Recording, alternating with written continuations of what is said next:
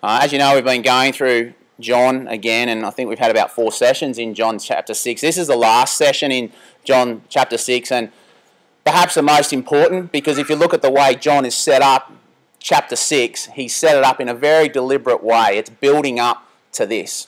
Now, remember, the disciples, they tried to record things faithfully and they actually had some editorial kind of rights, though. They got to put certain things in and take certain things out. John himself says, if I tried to write everything about Jesus, I'd just fill up all the books in the world. So, through the power of the Holy Spirit, he has picked certain things and he has picked the sequence. And there is a very strong literary structure to John. We've talked about that before. It's sort of a bit like a vortex or even a DNA spiral by that I mean John kind of keeps coming back to the same kinds of things, the same kinds of themes, but in very different ways. And one of the things that he'll keep coming back to over and over again is this idea of belief, this idea of faith and dependence and trust. And as we get to the end of John 6, we find something really disturbing. From that time, many of his disciples turned back and no longer followed him. That's John 6 66. Appropriate numbering, maybe. From that time, many of his disciples turned back and no longer followed him. Literally in Greek, that means many of his disciples went back to what lay behind. They were no longer walking with him. So this wasn't just a trip or a stumble or a fall. I've got some doubts about you. This was, that's it. I've had it. I'm out of here. And you've got to ask yourself, well, how did that happen? Because he just fed them miraculously, probably 20,000 people. We saw that in the first session. He then preached to them healed them, came to the disciples on the boat, saved them, then went to Capernaum and preached again the words of life. And yes, it was a hard message to hear, it was a hard message to preach bread, flesh, blood. You know, the idea of depending on Jesus the same way we depend on our daily food, He being our spiritual sustenance. It was a hard thing to be heard, but He was preaching genuinely because He wanted them to be saved. He wanted them to believe. And now we get to the end, and from that time, many of his disciples turned back and no longer followed him. So, what's this whole idea of desertion? Uh, that's actually from the US Army, it's in their military law.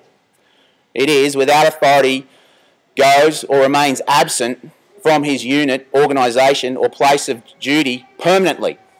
And the Oxford Dictionary says to abandon a person or a cause or an organisation in a way considered disloyal or treacherous. So the key words are absent, goes away, permanently quits, avoids, shirks, abandons, disloyalty, a cause or a person. And there's been lots of uh, desertions in military history. You may have heard of Arthur Muntz. He was a Confederate soldier. In one of the critical battles of the Civil War, he fired one shot and deserted his position. And you know what happened to him? He got executed. Thousands of deserters were executed during the Civil War. Most filed faced trial and then the firing squad. Henry Stanley, you remember the famous words, Dr. Livingstone, I presume? Henry Stanley ended up being a journalist. He was a deserter twice, got done for desertion twice in his early years. When I was in Bougainville, um, the PNGDF soldiers had been out there by themselves for quite some time and they had completely lost faith in the cause. And the, many of them were deserting and going across to the enemy, as they were known then.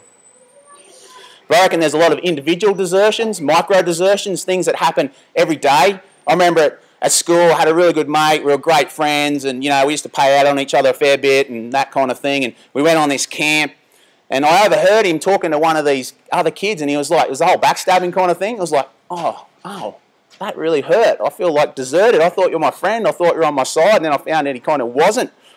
And you know, get all those feelings of betrayal and stuff can happen relationally when a girl leaves you, you just feel deserted. can happen politically. I mean, we, it's so interesting to me that we go into a state election and the polls are tipping a swing back to Labor. Now, I don't want to get all political on you, but isn't it interesting how people are just, right, well, I'm not happy with you. We've only given them three years. I'm not happy with you, so I'm going to go over here. It's a, it's a form of desertion. It happens all the time. And so, this whole idea of going back to what lay behind, not walking with Him. When we talk about God, when we talk about Jesus, desertion is ratcheted up to a whole new level. It's kind of like the branch deserting the vine, or oxygen deserting air. It's, it's you know, what actually happens with this desertion? I think it's incredibly relevant to us. But with all that kind of build up, I just wanted to ask a question. What is the biggest desertion ever? What is the biggest desertion ever? What is the biggest betrayal, abandonment, shirking ever? Was it this stuff that I mentioned in the Civil War? And every war's had deserters, by the way. Australia had them. Um, we had them in Kokoda. We never talk about them, but it did happen. Lucifer betraying God? Yeah, maybe. Is that the biggest one, you reckon? It's a good one. Lucifer betraying God, taking the angels, the desertion, Adam and Eve. Don't get ahead of me. Judas, is that the biggest one? We're going to build up to that. Just keep that at the back of your mind. Good answers. Peter, Peter going to get back to that. Today's passage actually points to the biggest desertion ever, but it may not be what you think. I was surprised by it. Let's read. So from John 6 60. On hearing it, okay, so you've got to go back to the sermons we've done previously to what it is, but it's all the bread and flesh stuff. It's Jesus feeding, it's Jesus saying, I am the bread of life, emphasizing his godhood. It's all that. On hearing it, many of his disciples said, This is a hard teaching. Who can accept it? Aware that his disciples were grumbling about this, Jesus said to them, Does this offend you? What if you see the Son of Man ascend to where he was before? The Spirit gives life, the flesh counts for nothing. The words I have spoken to you are spirit, and they are life. Yet, there are some of you here who do not believe. For Jesus had known from the beginning which of them did not believe and who would betray him. Think about that. He went on to say, This is why I told you, no one can come to me unless the Father has enabled him, unless the Father has empowered him, unless the Father has compelled him to come. None can come. And very clearly here, none will continue to come, none will continue to follow. Verse 66 From this time, many of his disciples turned back and no longer followed him. 67. You do not want to leave too, do you? Jesus asked the 12. Think about that. He says later, the 12 that he chose. Now he's saying, You do not want to leave too, do you? Simon Peter answered him, Lord, to whom shall we go? You have the words of eternal life. I love Peter. Sometimes I don't like him. Here I love him. We believe and know that you are the Holy One of God. Then Jesus replied, Have I not chosen you, the twelve? Yet one of you is a devil.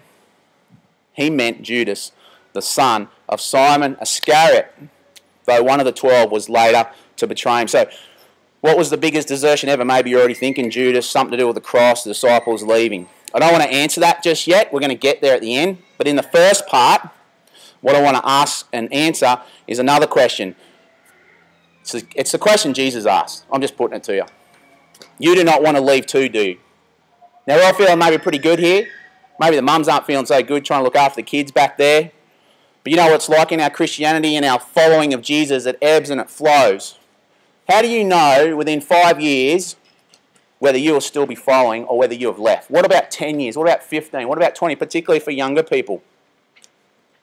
Younger people tend to, according to the statistics, 70 to 80% of younger people going to evangelical churches like us, the answer to this question will be yes, I do want to leave, and I have left.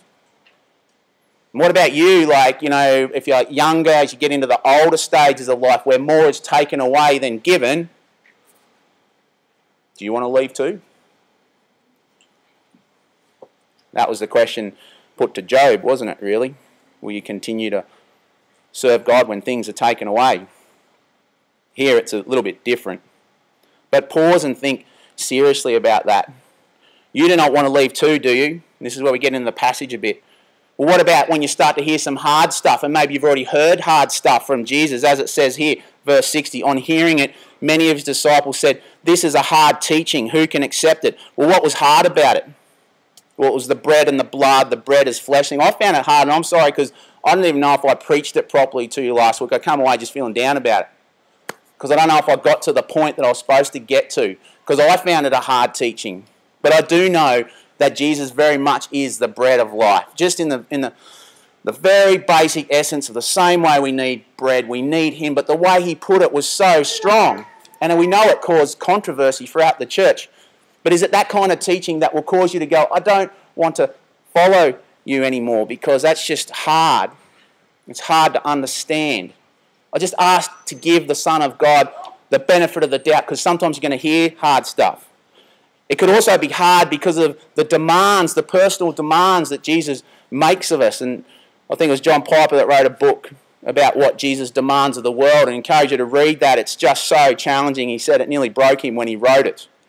What he demands of us. Think about it 100% followership to the point where he says a hard thing, which is, unless you hate your family, unless you hate your mother and your father, you cannot be my disciples. What does that mean?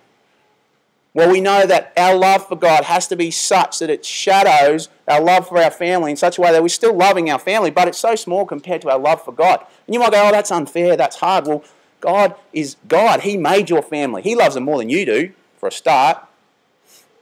But that's the kind of stuff that makes us turn away. Have you ever thought of this? We say it so glibly. Take up your cross daily, it says in Luke, daily and follow me. Take up your crucifixion device daily and follow me. Have you thought about that? What does that mean? We know that in one strong sense, it means every day, if you're going to serve me, it's going to hurt. It's going to cost you something. It's never going to be easy to help other people. It's never going to be easy to follow me and serve as I serve the world. It's going to hurt like carrying a cross up a hill to die. It's hard because of those demands, but they're the demands that he puts on us. And it's also hard because it would be easy in our day and age just to look at Jesus as a wise man, as a sage, as another teacher. But when he starts saying things like, I am the bread of life, and in the Greek emphasizing that he is God, well, no wise teacher or sage says that kind of stuff. You should think that Jesus is just crazy if you think he's a wise teacher. It's hard because he says, I give my flesh for the world. I am the bread of life. He is saying that I am God, and this is the core reason why many of these guys turn away. It's what? You're not just a prophet, you're not just this new Messiah, you're God. For a Jew, that was just anathema. God behind the holy, holy of holies, where only the high priest gets to go in there, and you're telling me, you sweaty, maybe even, you know, dirty Jesus, in the physical sense of dirt, you are God. That's hard. I'm not, I'm not following you anymore. Now you think about that. You think about when you tell the world that you follow and love Jesus. What? Who's that guy? He's a swear word, isn't he? Some he's a baby in a manger at Christmas time. It's hard. Will you will you turn back because of that? Um, I love I love G.K. Chesterton. Uh, he writes so well. He he he was much of the reason um, C.S. Lewis became a Christian, uh, as I understand it. But he says here, you know, sometimes if you were to read the Gospels for the first time, you would find some surprising things about Jesus. Um, he talks about outbreaks of wrath, you know, like when Jesus is having a go at the Pharisees, like storms above our atmosphere. Atmosphere, they do not seem to break out exactly where we would expect them, but follow some higher weather chart of their own. Nor is there anything meek and mild about Jesus the exorcist. It's much more like the tone of a very business-like lion tamer or strong-minded doctor dealing with the homicidal maniac. Indeed, the real Christ of the Gospels is actually more strange and terrible than the Christ of the church. And I want to say to you, for most of us, the Christ of our head is not like the Christ of the Bible. And that's just one reason to be in, your, in, the, in the Bible, just saturating yourself in His Word so you know who this strange and terrible Jesus is. Like, because He does say surprisingly hard things, and it's like, will you, will you follow Him? You do not want to leave too, do you? What about when you hear this scandalous stuff? What, what do I mean by that? Well, verse 61 aware that his disciples were grumbling about this, Jesus said to them, Does this offend you? In the Greek, that's literally um, the word that we get scandal from a trap or a stumbling block. It causes a stumbling and a, and a falling. In our English, it's defined as uh, causing general public outrage by a perceived offence against morality or the law. You would have felt a little bit of that as we tried to preach on Jesus talking about eating bread and eating flesh and that kind of stuff. Um, not him eating it, but you know him being that. It's it's it's a difficult teaching. It's kind of almost scandalous in some ways, and we know that there's that rich symbology there. But nonetheless, it was scandalous. But here's something else that's scandalous. Here's what was scandalous uh, 50 years ago, affirming or denying actually the beauty of marriage as one man and one woman to produce very cool and special things like intimacy, sacred romance, and babies. That was kind of good back then. Now, if you affirm that as being the only type of marriage, you are affirming a new moral value. You are affirming that other types of marriage are not what God intended. That's scandalous. Because now the new moral order says that that is okay. And I don't want to get into all that kind of browbeating and stuff. I just want to love all types of people genuinely from the heart. But I want what's best for them as well. And I don't know what's best for them, but God does. And I'm just trying to do what God says and what God says about marriage. Another thing that would be scandalous today is to affirm the uniqueness, the specialness of uh, Jesus and to say that he is the only way. That's scandalous now. Another one would be to uh, affirm the sacredness of all people equally as Imago Dei uh, bearing the image of God, therefore special, including the unborn child in the womb. No, no, no.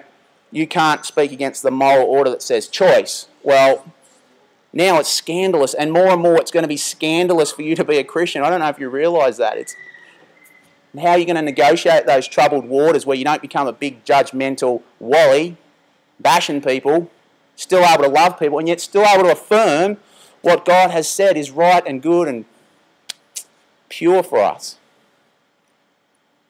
And will you leave Jesus when it gets so hard? Many churches are already leaving following him in affirming marriage. He was the one that said, let the, the mystery of marriage, a man comes to a woman, let you know, God has brought them together. He's the one that affirms that, not, not me. But if you affirm it now in, in a public kind of way, you're just scandalous. And will you have to leave when the pressure comes? That's what happens here. You do not want to leave too, do you? Well, what about when you discover the cost is high, very high? I already kind of alluded to it there, where you might lose some friends, lose some um, peers, lose some respect from people. Verse 62 says here, uh, what if you see the Son of a Man ascend to where he was before? Now, what do I mean by cost there? How is Jesus going to ascend back into that unique kind of trans-dimensional super being oneness with God? It's going to be via this incredibly offensive thing called the cross. That's how he's going to ascend. He's going to go via the cross. He's going to be lifted up via the cross. The Jews hated the idea of that. It was terrible to die on a cross. It was offensive. And here's the thing you will never go beyond your leader. If you're following someone, think about this. Just physically, say you're following one of the guys or one of the ladies, you're just following me. So I'm just going to follow you. You'll never go beyond where they are. Never. That's why it's so important not to look at us leaders, but to look at Jesus, because otherwise you'll never go beyond me with my own dodgy faults, or Andrew or Rick, and I know they wouldn't mind me saying that. We all have faults. You'll never go beyond us. Please follow Jesus. You'll never go beyond where He has gone. But do you realize that to follow Him is to be prepared to lay down your life? Now, He may never call you physically like He did with the early church and martyrs all around the world now, but He definitely calls you to lay down your money, lay down your livelihood. And I can say that because I don't draw a wage and I never will draw a wage from this church. But I know that unless you're willing to give those things up and count the cost, you can't be a follower of Jesus. And when you start thinking about that, maybe you're going to go, that's too hard. I need to leave. But I just ask that you wait. Please don't leave. Please don't leave because where else are you going to go? You do not want to leave too, do you? Well, what about when there's just so much pleasure now? There's so much pleasure in, you know, just finding, oh, I don't know, uh, finding riches, finding a, a, job that's just giving you sort of like a bit of a power rush, uh, people are respecting you, or, or finding that girl and you're doing inappropriate things before marriage, or just what's happening on the computer. It's it's just so pleasurable now, isn't it?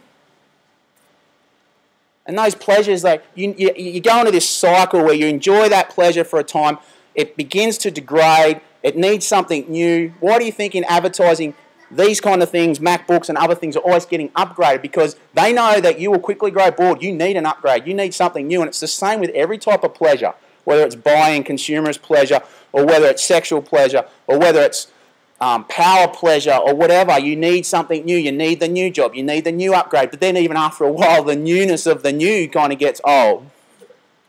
But there is that pleasure now. And the other thing that happens is it gets into our heart and it starts to choke up our heart and we feel guilty and down and all that kind of stuff because we're in that cycle. And God seems distant, God seems far away. He, he promises pleasures at His right hand, but they're off in the future. So will you, will you, will you leave? Because in verse 63, as it says there, the Spirit gives life, the flesh counts for nothing.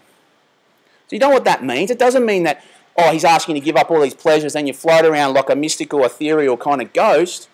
It means that whatever pleasures you've enjoyed here on earth, think now, um, think with me. Imagine what they'll be like in heaven with your fully redeemed body where they're within their proper boundaries, within their proper worshipful trajectory, not ending up on themselves. This is, this is what he's talking about here. The Spirit gives life, the flesh counts for nothing. But you may want to leave. And I love this um, song. I've just been listening to this album and I really commend it to you by 10th Avenue North. You may remember that song, uh, Lamb of God, that we sung here many times. Hope we can sing that again. That's that same band. This is their new album, and they've got this song called Cathedrals, and it's built on the metaphor of us as believers uh, in Christ being his dwelling place. We're all cathedrals. I really like that picture. And he says here, listen to the verse, it sounds so much better with me just, than me just saying it, but Father, let your kingdom come. Keep us from our lesser loves. Nothing else can satisfy you. Don't you know that to be true? Like, really, like, over and over again, you're trying the new things, they wear out, blah, blah, blah they just don't. You, think you wanted it, but then it fades out. That's a lesser love. Nothing else can satisfy. And then he says, Our hungry souls reach out, whatever fills us up, but we'll keep on falling down unless we fall in love. Our hungry souls reach out to whatever fills us up, but we keep on falling down until we fall in love, ultimate love, true, beautiful, onenessing love with Jesus. But there's such a temptation to fill up with other stuff that's just going to decay and rot over time. I want to read um, about a desertion that occurred in the New Testament. Okay, you got to look for it, and don't you don't have to look this up, but it's in Colossians 1:14. I'm going to skim pretty quick. So it's Paul, and he's writing a letter, and he says, "Our dear friend Luke, the doctor, and Demas send greetings." Okay, that's written before Philemon. In Philemon, Paul, writing another letter, says this Epaphras, my fellow prisoner in Christ Jesus, sends you greetings, and so do Mark, Aristarchus, Demas, and Luke, my fellow workers. 2 Timothy, the last letter that we know of that he wrote. He's in jail. He's been deserted pretty much by everyone, whether they can't find him or whatever. He's there alone. He knows about desertion, Paul does. Now, this is what he says to Timothy.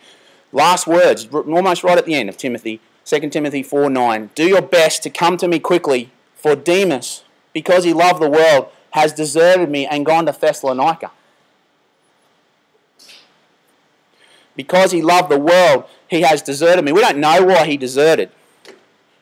But the world there, don't get it wrong, it's not talking about the physical world, it's talking about the world and its culture and its accepted behaviours and norms, its accepted aspirations and pleasures and desires.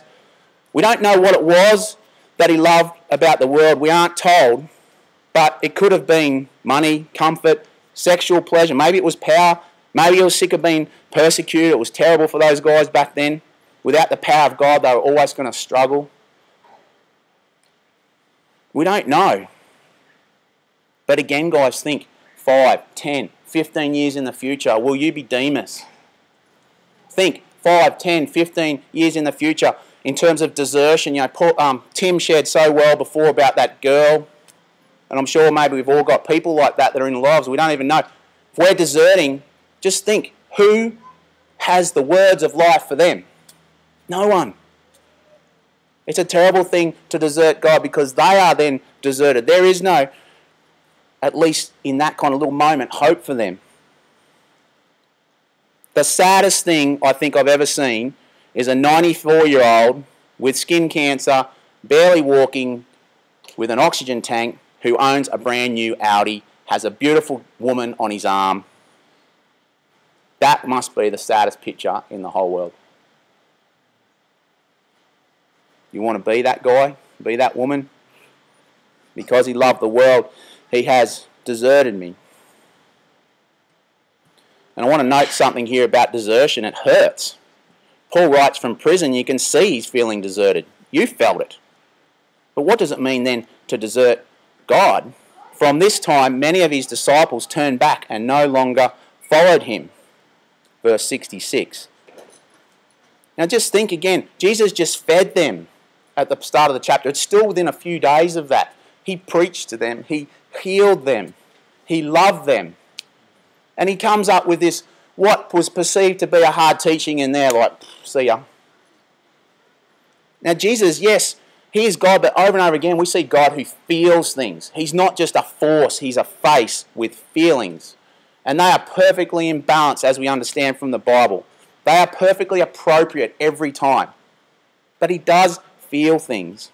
How does Jesus feel? Now, I think there's something profoundly intense about this verse, which is why I put it up as the motif.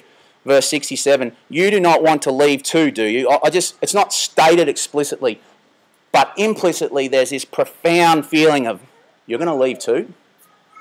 Now, I know God has chosen them, and this is the mystery of sovereignty and will and everything else. But in that moment, Jesus says, You're going to leave too. You going to leave? Have I not chosen you, the 12? Compare that with verse 70. You're going to leave? You see the yearning there. I, I see it. And you might say, I'm not comfortable with that. Well, go to the Old Testament then.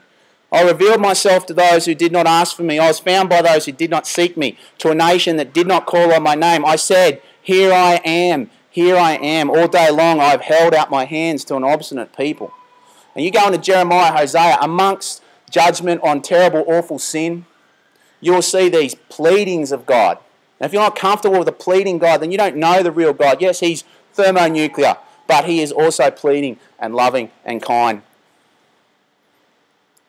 And I've said that many times because I love C.S. Lewis. He's not our grandfather in the sky, He's our Father. Full of love and surprising things and power and wrath and judgment. It's all in Jesus well, but he yearns for us. And you know, these words of Paul, because he loved the world, he has deserted me. Because the teaching was hard, he has deserted. Is this going to be you in 5, 10, 15 years? Is it you now? Maybe you're right on the edge. Maybe there's people that you know that have deserted. Will you go to them? Did they desert because the teaching was hard and they just didn't get it? They didn't understand the relational aspects of the Holy Spirit and when He fills us and how He loves us and well, maybe it was just scandalizing. It was getting too hard to uphold these values that God has of marriage and sexuality, and it's just too hard. Just give up on it, or just maybe end up with a distorted view. Too hard. Deserted because the cost was high, because the job was so good. We just got caught up in a busyness, terrible busyness that stops people from hearing the word, stops people from being served while we serve ourselves. And I love my job. I love the fact that you've got jobs, but please see them as a calling to serve, to love, to see people grow in Jesus. Because he loves stuff, he has deserted me. You can put anything in there. And the question comes again you don't want to leave too, do you?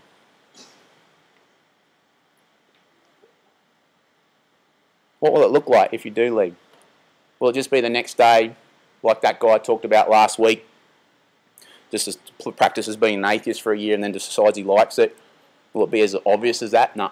It'll just be that slow fade. It'll be little decisions over time until eventually 5, 10, 15 years. It's like, yeah, Jesus, I've got this belief, like so many people say, but I don't see you with him. Remember, the, the definition was to turn back to where you were before, to no longer walk with him. You're not walking with him in your behaviors, in your in the spirit that's within you. It's just you're just flat, you're just dead, you're just you don't want to leave too, do you? What's going to stop you from doing that, guys? I could just moralise now and go, right, I read your Bible, pray, go to church, go to Desiring God podcast, listen to that, just do all that stuff. This is the answer to the first question. What's going to stop you from leaving? Verse 65 This is why I told you that no one can come to me unless the Father has enabled him. So, in the context and the flow of this part of the passage, it's very clear that not only when you come are you coming in God's power, but when you stick at it and you are sustained, even though it's so hard with all the heavy teaching, the hard teaching, the, the denying of those kind of pleasures, and just looking to the Lord and enjoying pleasure from Him and sweetness from Him, that's going to be God in you. And I just love how Sarah put it before. I just, I just, I just wish we could be simple with stuff, you know.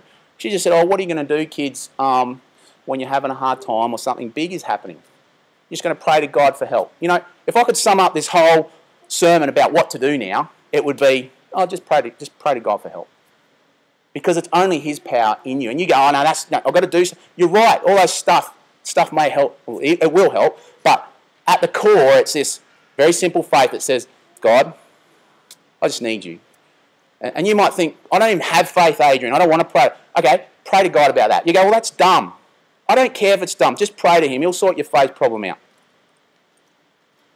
Pray to Him for faith. Pray to Him for understanding. Pray to Him for power to, to continue to follow. And not only just survive in your following, but thrive in your following. To have victory in your following, because that's what God intends. A defeated Christian is just, I don't know, it's, it's, we, we will have defeats, don't get me wrong, but I want to see these victories coming. And I'm just really thankful for how Barb shared this morning. That idea of the boat sailing with just the, the, the sails full. And, and God just, that's where we're at as a church. But it's not just going to be, oh, let's get more people in the pews. And I was so challenged by what Tim said. Are we just inviting people to our programs? Oh man, oh, that was so profound and so challenging and just so from God. I just, just really think about that, guys. Because even if we are inviting them to our homes and inviting them in, it'll be God within us. You'll be going, I don't want to do that, it's a bit uncomfortable, I'm tired, I'm busy. Pray to God. Just pray to God for help. Just pray to God for help. And I love this next bit. Uh, Simon Peter again. Simon says, verse 68, Well, where are we going to go? You've got the words of eternal life. We believe and know that you are the Holy One of God. If you were to sum up this whole passage, right, just with one word, I'm really interested to know, just remembering the feeding of the 5,000, the trajectory of food and so forth, what would be the one, one word? Don't say Jesus. It's always Jesus. This is the other one word. Faith, yep. What's that? Life. Faith, life, yep, yep, I like that. What else? Persevere, yep. Sorry, Rick. Believe, yep. Put all them together, and then over the top put need. Need. They needed bread in the desert. They needed Jesus to do something to save them. Faith is need. Faith is the recognized absence and my desire all of a sudden not just to follow God, but to hunger for Him. I, I, hunger for Him when I'm at that point. I hunger for bread that's not going to go stale and rot. And this is the point that Peter makes is, well, where else are we going to go to get that bread? Where else are we going to go to get the words of eternal life? We believe and know that you are the Holy One of God. Now, what's we're back to here and we're finishing because I said I'd finish in 30 minutes, and my timer here says 31, so I'm not going too bad. And you, I think Luke's new recording device runs out at 34, doesn't it? Did you do that on purpose? Someone been talking to you?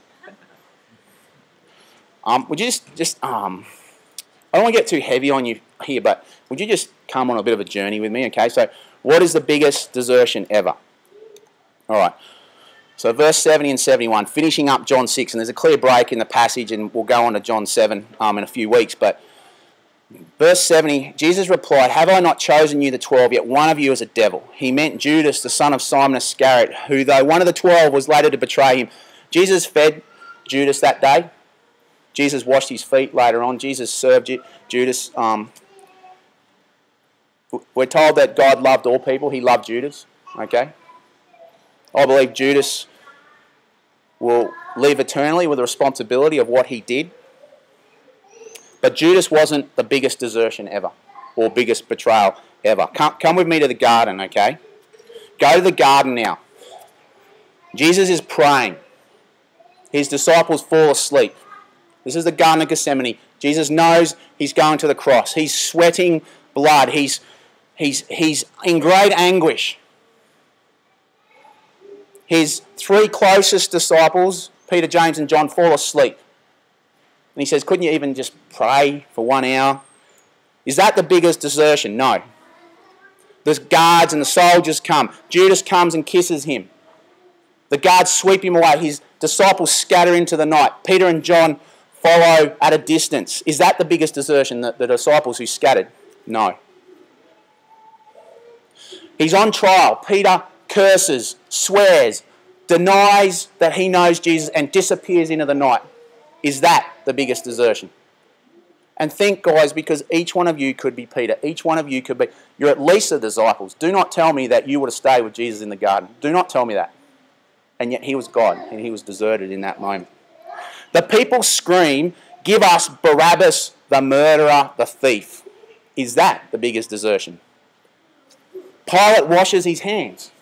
Is that the biggest desertion? Herod laughs. The soldiers mock. Is that the biggest desertion? of their own creator. They mocked their own creator. Are you ready for it?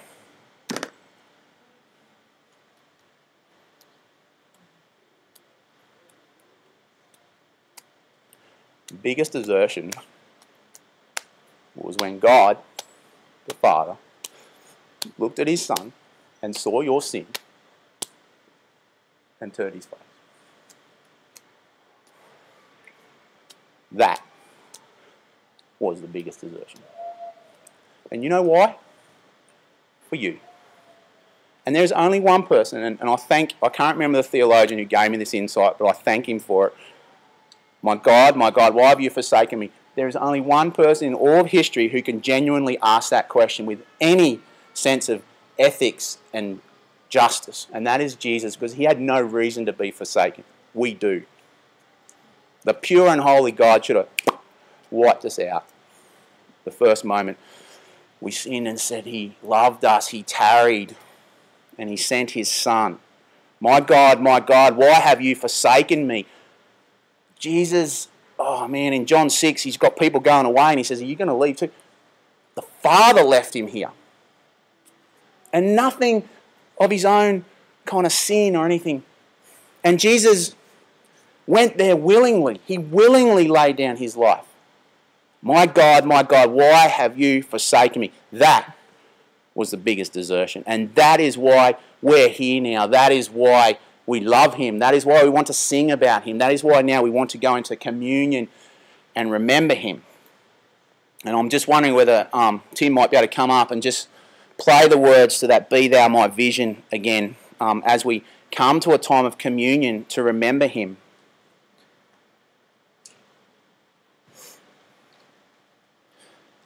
My God, my God, why have you forsaken me? No other, no other God like that. I'm just going to pray. Just prepare yourselves for communion. You might think that you're unworthy. You are.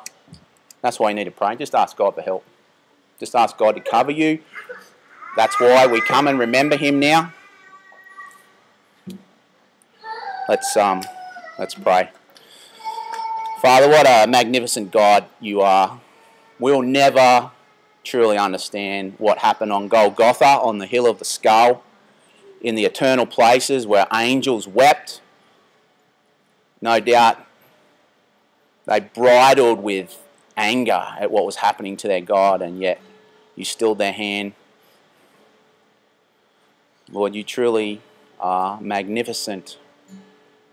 Truly, Lord, you are wonderful beautiful.